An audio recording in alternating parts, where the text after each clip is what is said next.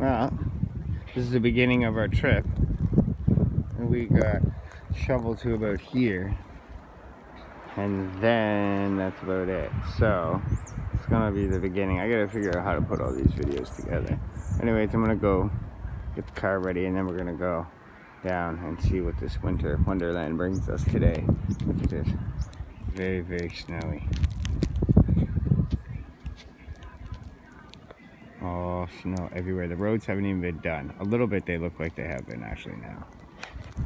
So, let's trudge through this bloody snow until we get there.